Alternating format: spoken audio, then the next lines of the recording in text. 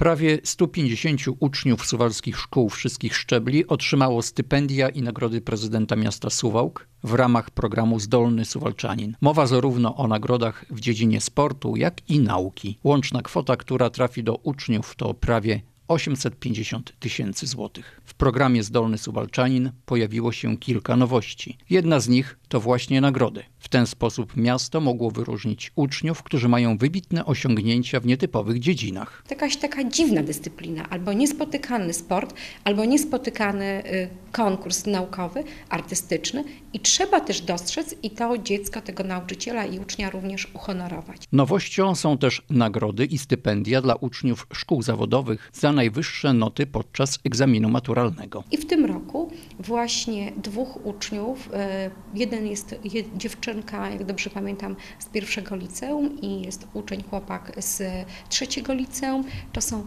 najwyższe wyniki egzaminów maturalnych w mieście, także zostaną uhonorowani nagrodą wysokości 1000 zł. Przy okazji stypendiów warto wspomnieć, że Suwałki mają też coraz lepsze wyniki w sporcie. W wojewódzkiej rywalizacji sportowej miasto znalazło się na trzecim miejscu. I tak naprawdę wiele szkół, e, to przede wszystkim jednastka, zespół szkół numer dwa, no nie wymienię wszystkich, bo to trochę by, nie chcę kogoś pominąć, ale to na pewno są y, dziesiątka, oczywiście nasza szkoła sportowa, to są y, placówki, które przyczyniły się do tego bardzo dużego sukcesu naszego miasta. Gala Ucznia Zdolnego to też podsumowanie projektów, które zrealizowali suwalscy nauczyciele. Mowa o innowacyjnej bibliotece, i innowacyjnej świetlicy. Zadaniem bibliotek jest propagowanie wśród uczniów czytelnictwa, natomiast świetlice mają być miejscami jak najbardziej przyjaznymi dla dzieci. Wszystko to w oparciu o twórcze, kreatywne pomysły. Już po raz kolejny zostaną wręczone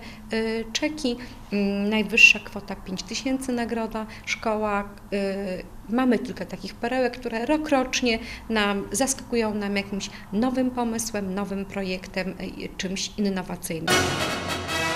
Prawie 60 nauczycieli suwalskich szkół otrzymało nagrody prezydenta miasta Suwałk z okazji Dnia Edukacji Narodowej. Gala z tej okazji odbyła się w Suwalskim Ośrodku Kultury. Były podziękowania, życzenia i koncert Katarzyny Groniec. Życzę nauczycielom, żeby radość, pasja, satysfakcja z pracy e, połączona była z ich taką chęcią rozwoju, dążenia do czegoś jeszcze więcej, jeszcze więcej, żeby mieć ten jeden taki cel najważniejszy, że w szkole jestem, w przedszkolu po to, tak naprawdę nie dla siebie, tylko dla tego dziecka, ucznia, które zostało mi powierzone, żeby ono się rozwijało i w rzeczywistości, w swoim potem dorosłym życiu osiągało sukcesy. Ale to nie jedyne nagrody, które trafią w tym roku do suwalskich nauczycieli. Na wniosek Urzędu Miejskiego nagrodę Ministerstwa Edukacji Narodowej otrzymał Romuald Borkowski, dyrektor zespołu szkół nr 2 w Suwałkach. Najwyższy tytuł w polskim szkolnictwie profesora oświaty odebrał Marek Urbanowicz, polonista z pierwszego liceum ogólnokształcącego, a Złoty Krzyż Zasługi Maria Urbanowicz z pierwszego LO. Wiem, że wielu nauczycieli również za pośrednictwem swoich dyrektorów wnioski były składane do kuratorium i także e, te nagrody zostały im przyznane. Naprawdę gratuluję i jestem też dumna z osiągnięć e, swoich koleżanek i kolegów.